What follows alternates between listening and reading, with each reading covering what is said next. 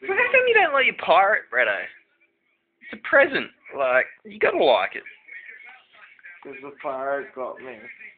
It And got the ya. pirate was evil. And the pirate was fucking gonna hit me with the fucking pirate bird.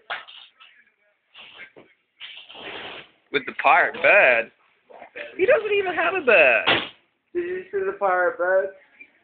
Do you see the pirate bird? Um, no. Pirate though, eh? What makes you think that it needs a bird? Well, it's a part, so I guess it should have a all parrot on its thing, all but pirates need it. They've got, he's got the sword, he's got the red and white shirt, he's got the one eye patch.